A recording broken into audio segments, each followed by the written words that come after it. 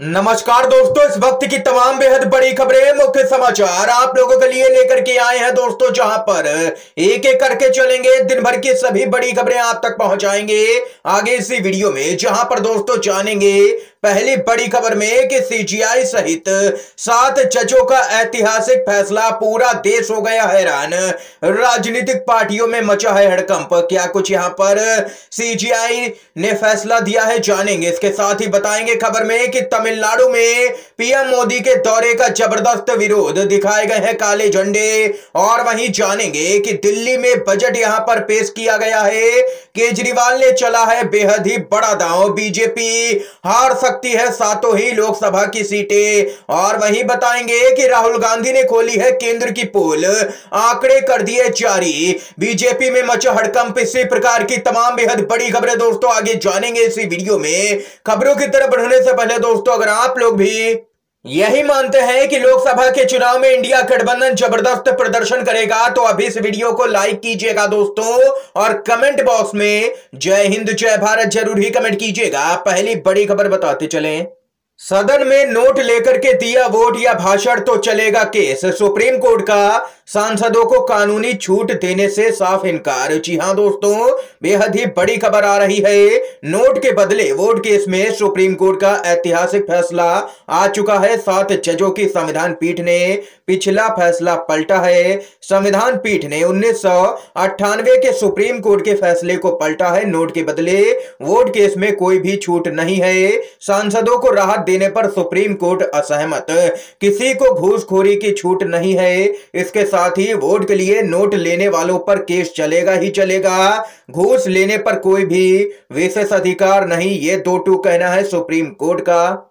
वकील अश्वनी उपाध्याय ने कहा है कि आज सुप्रीम कोर्ट की सात जजों की बेंच ने ऐतिहासिक फैसला दिया है और इसमें अपने पुराने फैसले को भी ओवर रूल कर दिया है। इसमें कहा गया है कि अगर कोई भी विधायक या सांसद पैसे लेकर के सवाल या फिर वोट करता है तो उसे किसी भी तरह की यहाँ पर प्रतिरक्षा प्राप्त नहीं होगी। उसके खिलाफ में भ्रष्टाचार का मुकदमा चलेगा। ये यहाँ पर सीजीआई डीवाई चंद्रचूड़ की अध्यक्षता वाली सात जज जजों की संवैधानिक पीठ ने दोस्तों ऐतिहासिक फैसला सुनाया है। भ्रष्टाचार के मामले में सुप्रीम कोर्ट का दो टूक कहना है कि कोई भी समझौता नहीं किया जाएगा। अगर आप लोग भी इस फैसले से सहमत हैं तो दोस्तों वीडियो को लाइक कीजिएगा, अपना समर्थन दर्ज करवाइएगा। एक और बड़ी खबर बताते चलें। दिल्ली के अंदर इंडिया गठबंधन को लेकर के यहाँ पर बेहद ही बड़ी अपडेट आ रही है। इंडिया गठबंधन साफ़ करेगा बीजेपी का सोपड़ा। केजरीवाल ने आज यहाँ पर अपनी सरकार का बजट पेश किया है। केजरीवाल सरकार की बड़ी घोषणा। दिल्ली में 18 साल से ऊपर की हर महिला को एक हज़ार रुपए देगी केजरीवाल सरकार।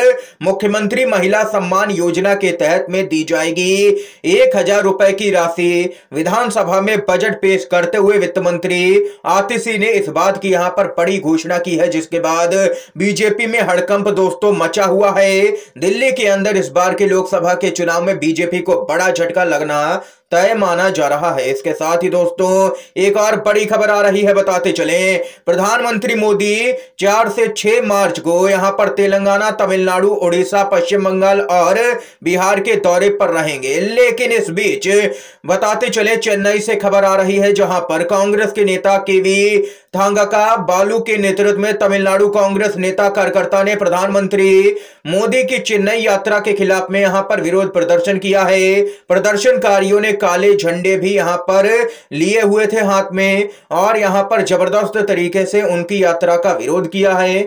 दोस्तों, बताते चले, बेहद ही बड़ी अपडेट आ रही है।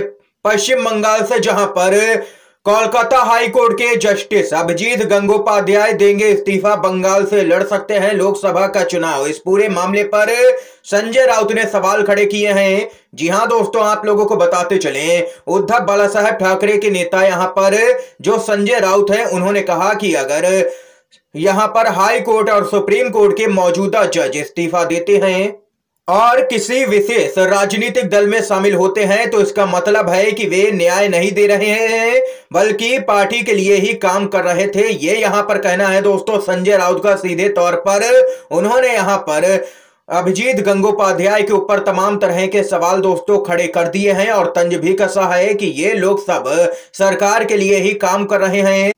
माना जा रहा है कि अभिजीत गंगोपाध्याय बीजेपी में शामिल होकर के लोकसभा का चुनाव भी लड़ सकते हैं। बीजेपी के टिकट पर बताते चले कि अभिजीत गंगोपाध्याय की टीएमसी के साथ में लगातार यहाँ पर अनबन देखने को मिली है। लगातार टीएमसी यानी कि सरकार जो है पश्चिम बंगाल में और अभिजीत गंगोपाध्याय आमने सामने नज़र आते हैं और इन पर भेदभावपूर्ण आदेश पारित करने का भी आरोप लगातार टीएमसी लगाती रही है। इसके साथ ही दोस्तों, एक और बड़ी खबर खबर की तरफ़ बढ़ते हैं। जहाँ पर आप लोगों को दोस्तों बताते चले, यहाँ पर रोज़गार को लेकर के नरेंद्र मोदी की नीयत पर राहुल गांधी ने उठाए सवाल। बोले खाली पदों पर भी कुंडली मार करके बैठे हैं पीएम। कांग्रेस के पूर्व अध्यक्ष और सांसद राहुल गांधी ने रोज़गार के मुद्दे पर प्रधानमंत्री मोदी पर जोरदार हमला बोला है। उन्होंने पीएम मोदी की नीयत पर सवाल खड़े कर दिए। राहुल गांधी ने सोशल मीडिया प्लेटफॉर्म एक्स पर पोस्ट के ज़रिए आरोप लगाया है कि पीएम मोदी की रोज़गार देने की नीयत ही नहीं है। नए पद निकालना तो दूर की बात है। वहाँ केंद्र सरकार के खाली पड़े पदों पर भी कुंडली मार करके बैठे हुए हैं, ये कहना है राहुल गांधी का। इतना ही नहीं, युवाओं के लिए राहुल गांधी ने बड़ी घोषणा भी कर दी है। केंद्र सरकार के अठहत्तर विभागों में नौ लाख चौसठ हज़ार पद खाली हैं, जिसमें प्रमुख रूप से रेलवे में दो दशमलव तिरानवे लाख, गृह मंत्रालय में एक दशमलव तैतालीस लाख और रक्षा मंत्रालय में दो दशमलव चौसठ लाख पद खाली हैं। इंडिया गठबंधन की सरकार बनते ही इन पदों पर युवाओं को तत्काल प्रभाव से नौकरी दी जाएगी। ये यहाँ पर राहुल गांधी ने बड़ी घोषणा दोस्तों कर दी है। बीजेपी के चंडीगढ़ के एक बार फिर से सीनियर डिप्टी मेयर के चुनाव में यहाँ पर बेहद ही बड़ी धांधली सामने निकल के आई है। आप लोगों को बताते चले, बीजेपी लगातार तमाम तरह के हथकंडे अपनाती है चुनाव जीतने के लिए। मेयर के चुनाव में पूरे देश ने देखा क्या हुआ, तब जाकर के सीजीआई ने यहाँ पर वोटों की गिनती की और बीजेपी को तगड़ा झटका दिया और आम आदमी पार्टी के जो उम्मीदवार थे उनको मेयर घोषित किया। ये काम सुप्रीम कोर्ट को करना पड़ा। खबर आ रही है, Chandigarh Chandigarh senior deputy mayor चुनाव यहाँ पर हारी है। आम आदमी पार्टी बीजेपी ने हासिल की है जीत। बीजेपी ने आम आदमी पार्टी के तीन पार्षदों को यहाँ पर अपने पाले में कर लिया था। या कह लीजिए खरीद लिया था। पूरे मामले पर बताते चले, चंडीगढ़ नगर निगम के सीनियर डिप्टी मेयर चुनाव में बीजेपी के कुलजीत संधू ने आम आदमी पार्टी के उम्मीदवार को हरा दिया है। बीजेपी उम्मीदवार को 19 वोट मिले हैं तो आम आदमी पार्टी और कांग्रेस के संयुक्त प्रत्याशी गुरप्रीत गावी के पक्ष में 17 वोट डाले गए थे, जबकि उनके एक वोट को इनवैलिड करार दे दिया गया था। इसके साथ ही बीजेपी ने सीनियर डिप्टी मेयर की कुर्सी पर अपने यहाँ पर उम्मीदवार को जितवा दिया है। ये यहाँ पर दोस्तों, इस समय की आज की तमाम बेहद बड़ी खबरें, मुख्य समाचार दोस्तों सामने निकल के आए, जो हमने आप लोगों तक पहुँचाए अगर दोस्तों आप लोगों को ये वीडियो पसंद आया हो तो अभी इस वीडियो को लाइक कीजिएगा। ज़्यादा से ज़्यादा इन खबरों को दोस्तों, मुख्य समाचारों को शेयर कीजिएगा अपने सभी दोस्तों में। और चैनल पर न है तो दोस्तों चैनल को ज़रूर ही सब्सक्राइब कीजिएगा। वीडियो देखने के लिए आप सभी दोस्तों का बहुत बहुत धन्यवाद। जय हिंद, जय भारत।